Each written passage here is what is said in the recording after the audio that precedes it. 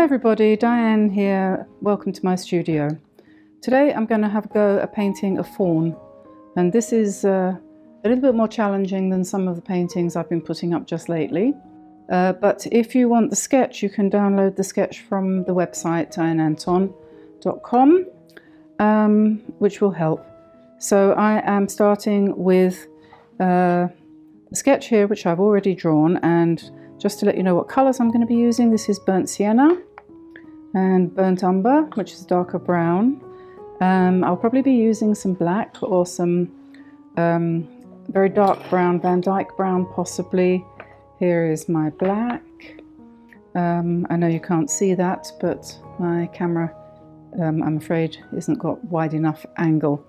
Um, and I'm going to start with the eyes, which um, I always start with the eyes, almost always start with the eyes, which I've drawn in with pencil. This is done with pencil. So we will attempt something here. Just even if we come in later and do more to the eye, at least we can get the basic um, character of the animal in there. Now I'm going to, I'm winging this really a little bit because this I, want, I haven't painted before. I have painted a fawn before, but not um, like this one. So I'm just dropping in some dark brown for the uh, ear tips and then I'm going to just warm that up a little bit with some burnt sienna and then just running that across the forehead there a bit. And before it dries, I want to pull this down as well. And as you can see, I kind of suck the paint up a little bit with my brush. It's getting very windy again.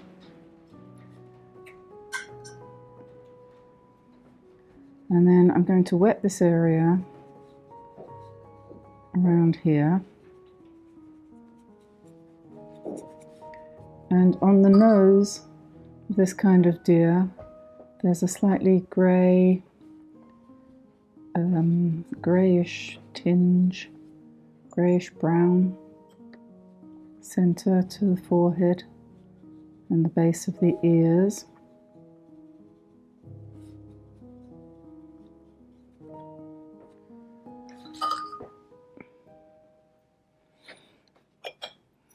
And um, then more golden colour. Bearing in mind this is the underpainting and we will be coming back in to refine it. I'm going to switch to a larger brush and um, burnt sienna and I want to add some quinacridone gold to that to make it a nicer colour.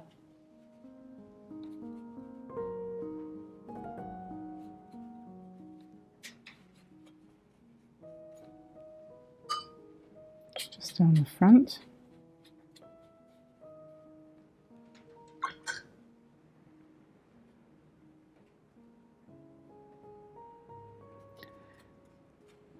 and then you can drag that down into the legs and then I'm going to bring blue into that to make a kind of soft grey.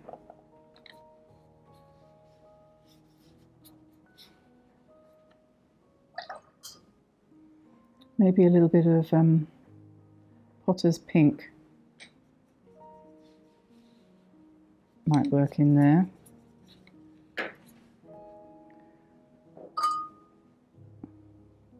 And then across the back, it's more of a dull colour.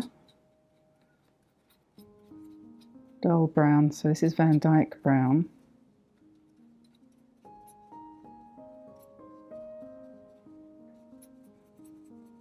The, the golden brown kind of comes round into the body there a little bit.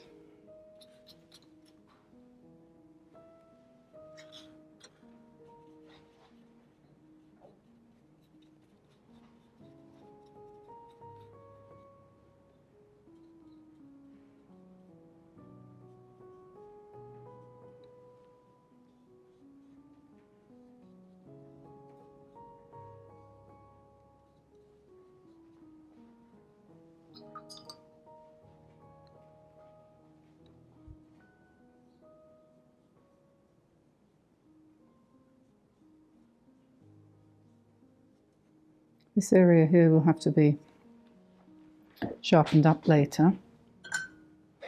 And so now there's a little bit more grey in here.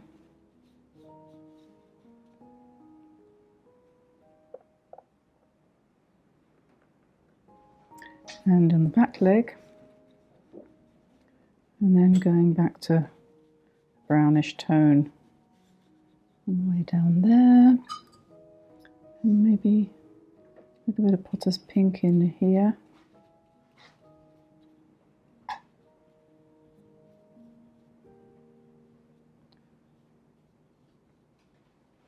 And we will be dropping some dark in at the foot as well. And then I, I don't know what colour is the tail. Just assume that's going to be on the greyish side.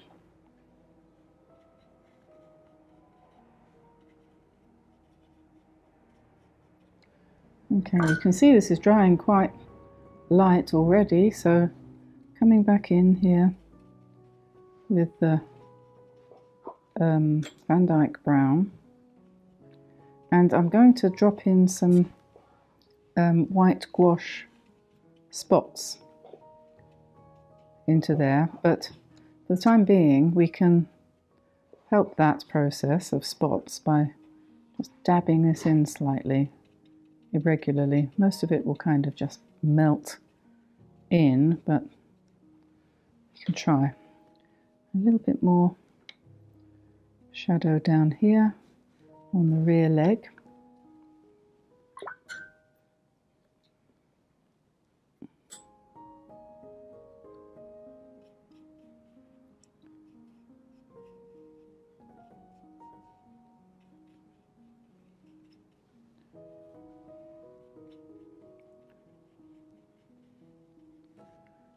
Before very long we're going to have to um,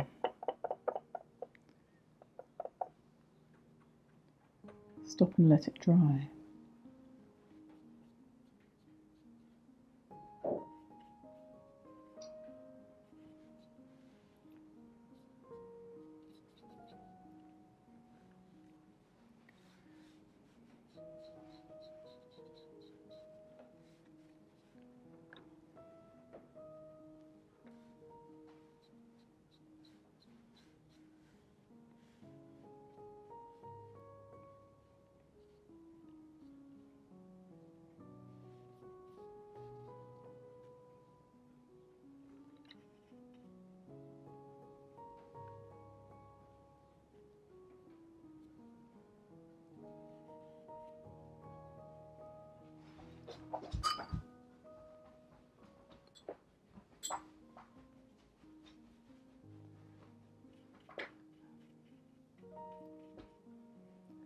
Okay, another coat up here.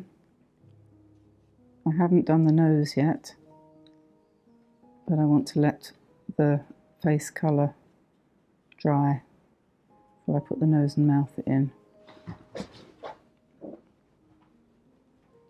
Put that greyish, blackish area needs to go in.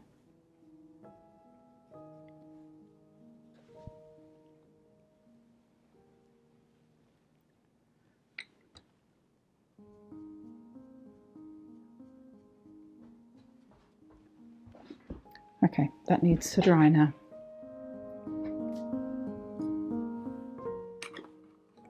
Okay, so the first layer has now dried and I am going to now, oh and I've um, put in the nose and the eyes and I'm going to now add some more um, burnt sienna and I'm going to use a different burnt sienna. This is a um, this is a Frank Herring palette which folds in half and um, I don't know if you can still buy these. You used to be able to get them. Um, I realised that the burnt sienna I was using was a little bit too dull for what I wanted so I looked in my stash and I found this which is much better and uh, very subtle, but, but nevertheless better. So I'm just dropping in some hints of, of this. And um, and then I'm going to do the back, the um, this part here. So I'm going to mix um, this one, which is Van Dyke Brown, with burnt sienna to give me a loose mixture. I never mix my colours completely, allowing them to mix on the palette.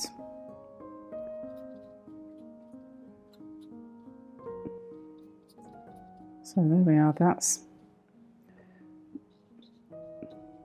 back of the deer. And then now I'm going to take my small brush and some white gouache. And I'm going to mix that up fairly thickly so it's fairly dry. And then I'm going to hope that we can get the look of the spots on the back of the fawn and I'm hoping it's going to um, just bleed enough, just run enough so that they look convincingly soft.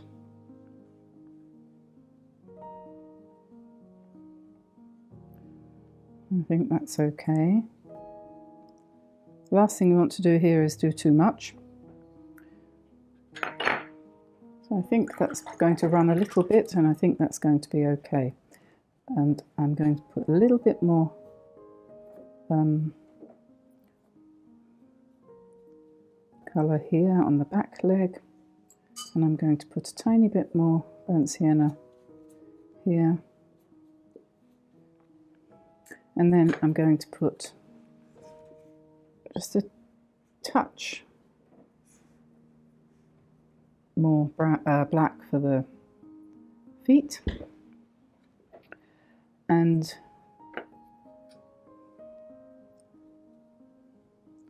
tiny bit there that will be lighter and then a little bit of potter's pink for the inside of the ears maybe a tiny touch More shadow there, perhaps. Not sure about that. Don't like the hard line anyway.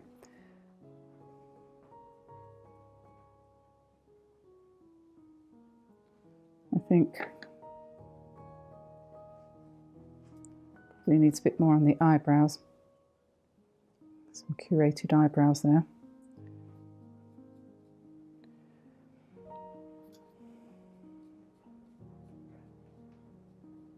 and that's it. I'm not going to play any more with that. Um, needs to dry. But I will give him some ground to stand on. And because he's a fawn, he will be he will have been born in the spring. So let's find some spring-like greens from a previous event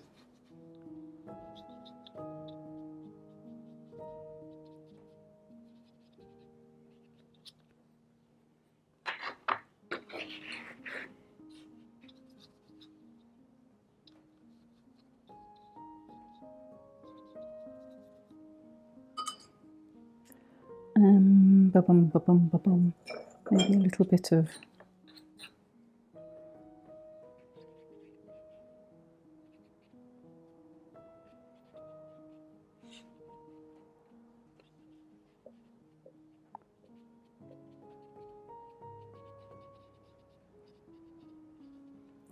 There we are.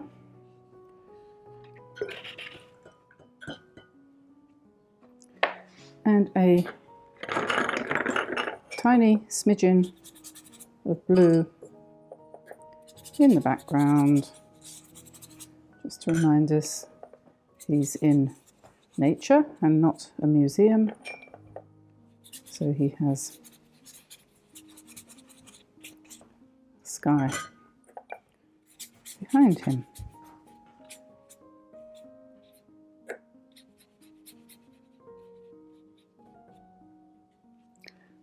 So there we are.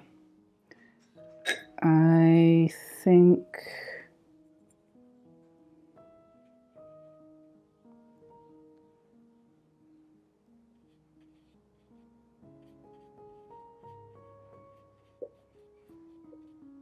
I think I'm going to dry that and then call it done.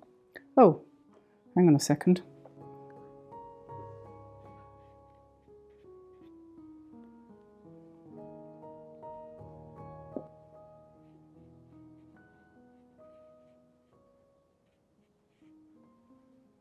Okay.